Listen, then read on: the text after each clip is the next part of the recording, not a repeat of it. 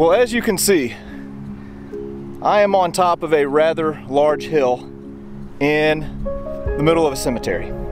This is the Chattanooga National Cemetery in Chattanooga, Tennessee.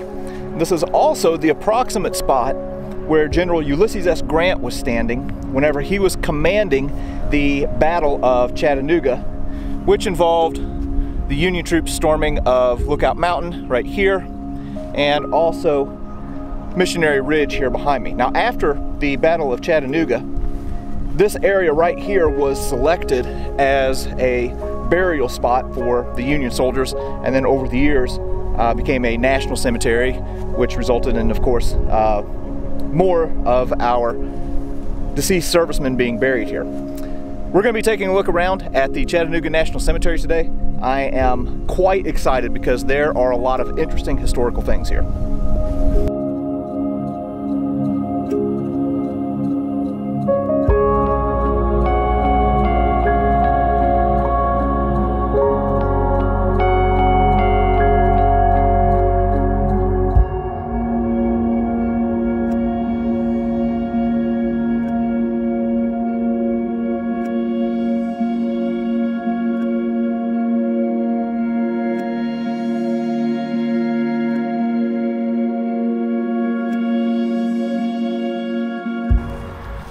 So in 1862, during the Civil War, uh, the the Union forces in the East were not doing so well, but in the West, it was a different story. Under the leadership of Grant, uh, Union forces had made incursions uh, into the South in Tennessee, like at Fort Henry, Fort Donelson, uh, down into Shiloh. And whenever that happened, the Confederate forces ended up kind of withdrawing pretty much out of Tennessee uh, all the way down here to the city of Chattanooga, which, if you look, has a lot of terrain that makes it easier to defend. So Chattanooga, for all intents and purposes, became the gateway to the deep south. Now I came across a story not too long ago that I didn't know that is extremely fascinating about a group called Andrews Raiders.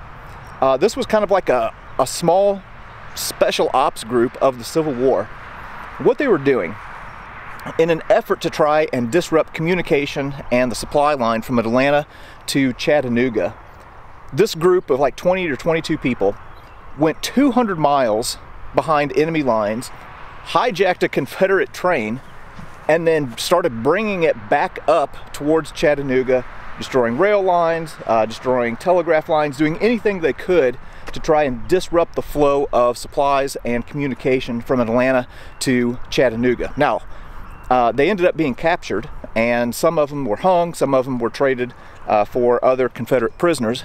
But here at the Chattanooga National Cemetery, they have a monument to Andrews Raiders.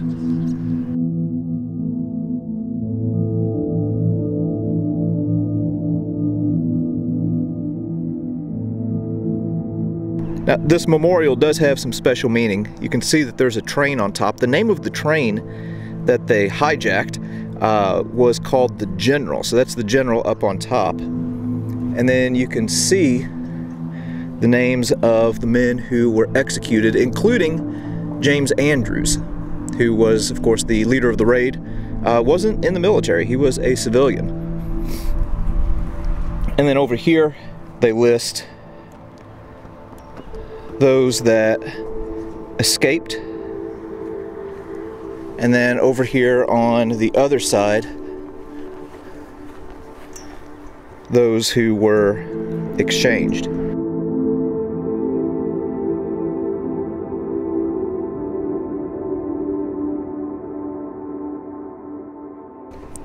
Now, here is what's really cool about the Andrews raid. If you look right here,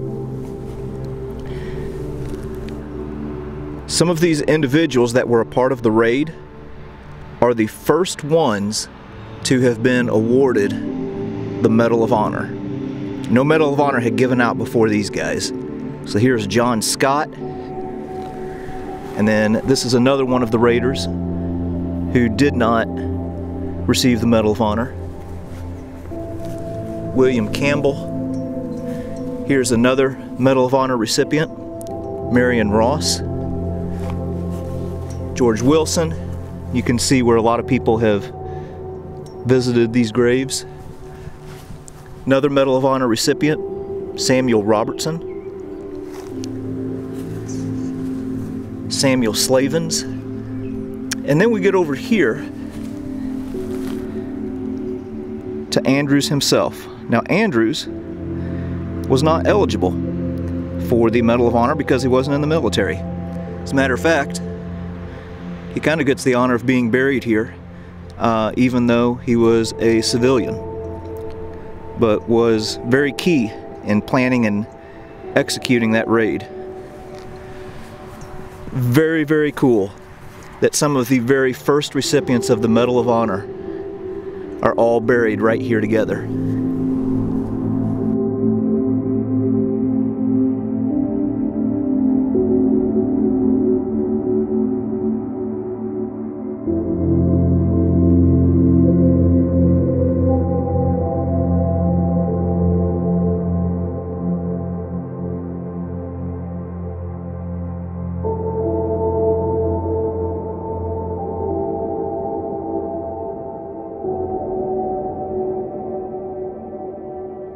Now, anywhere I go, I'm always trying to find something that's a, a, little bit different or out of the ordinary. Now, for me, this section of the cemetery here at Chattanooga definitely fits that description. This area right here is a plot filled with German soldiers from World War I.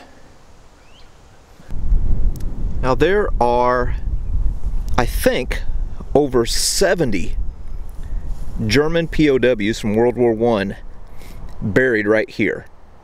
Now they were all held as POWs at Fort Oglethorpe. Men like Carl Schmidt and Peter Moltzen.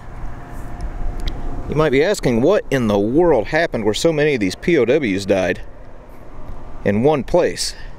And the answer is the Spanish flu. Spanish flu hit and killed all of these guys, along with millions of other people worldwide. Here's something else that's interesting.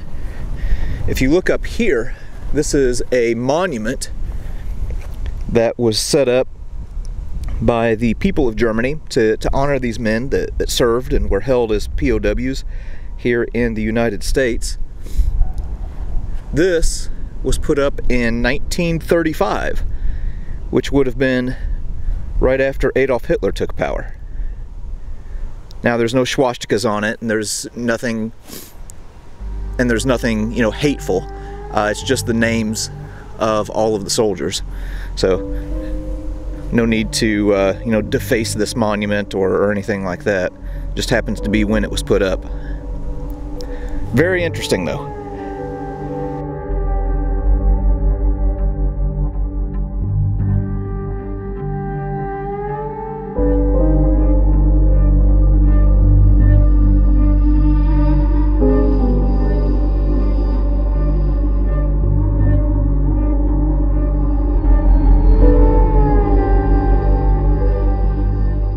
In my very first History Traveler video, I was at Jefferson Barracks and pointed out a few German and Italian POWs from World War II that are buried there.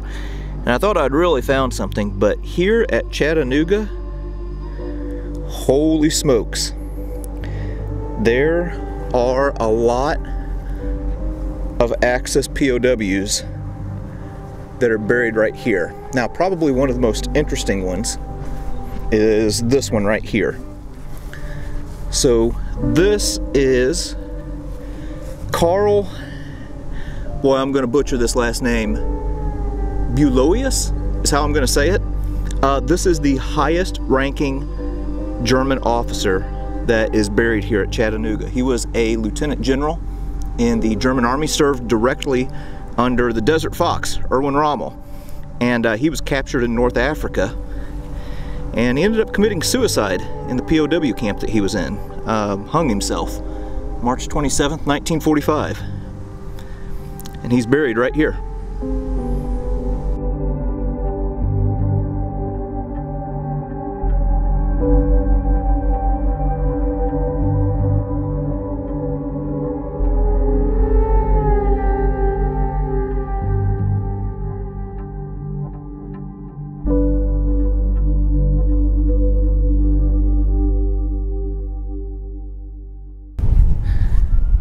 I was looking for another grave marker here in the cemetery and walked over to the opposite side. Now this is going to be a reinterment and I'm going to have to look up the information on it because this is James Gamble and he was in the War of 1812. So I'm kind of curious how he ended up reinterred here in a cemetery that was established during the Civil War. Interesting. Well, right or wrong, there is one particular grave here that I wanted to visit more than any other, and we've had a little bit of difficulty finding it, but I think that we finally located it, and it doesn't look to have been neglected. This right here is the final resting place of Medal of Honor recipient Desmond Doss.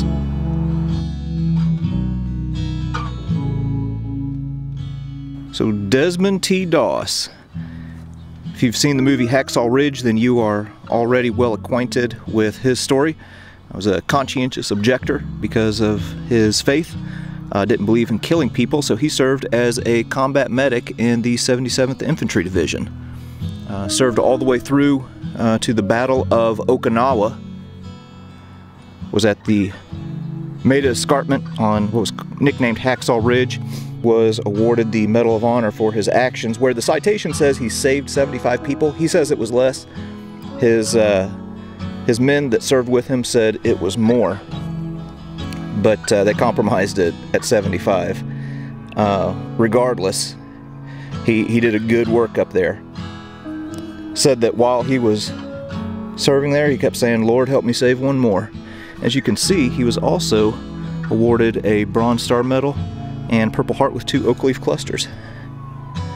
Gosh, so glad that I could come here and visit this grave.